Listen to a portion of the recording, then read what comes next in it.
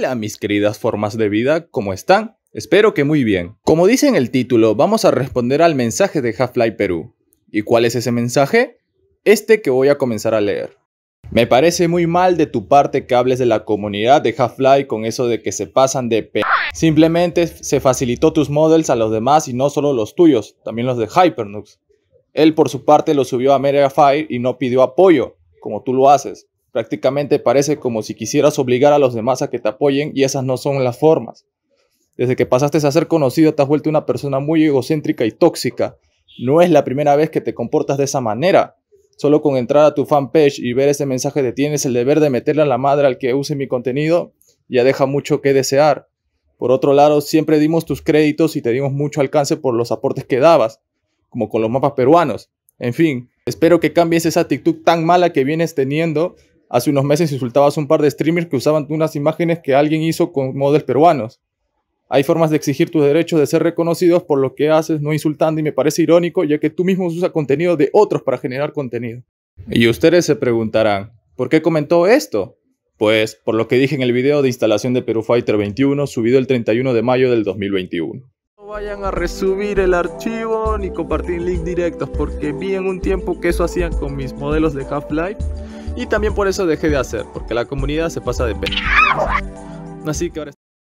Quiero aclarar unas cosas, si en ese momento dije esas palabras no me quería referir a toda la comunidad de Half-Life, o sea, no quería decir que no, que toda la comunidad de habla hispana y peruana es una mierda y que no, no deberían hacer esto y el otro y el otro y el esto, no. Realmente lo dije por un grupo que solo se dedicó a sacarle provecho a mis mocks, ya que aparte de darse créditos como si hubieran creado algo y confundir a los usuarios nuevos, aparte lo monetizaban. Y yo en ese tiempo no monetizaba ninguno de mis mocks. Hasta la fecha no he recibido ni un centavo. Y también mis mocks todo el tiempo estuvieron disponibles en Game Banana, la gran mayoría.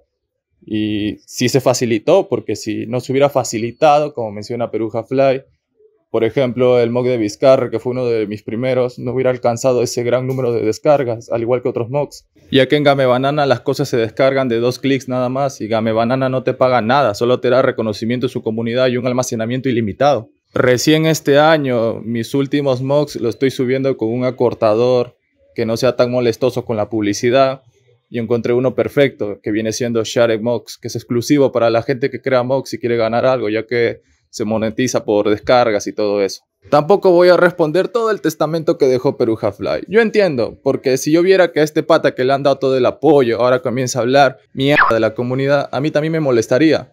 Pero como dije, fue un error. No me expliqué bien en el momento, no dije bien las cosas ya que para ese momento recién se había estrenado Perú Fighter 21 y no había un tutorial, ni siquiera tuve tiempo de armar un guion para el tutorial, lo hice todo improvisado para que la gente juegue de una vez.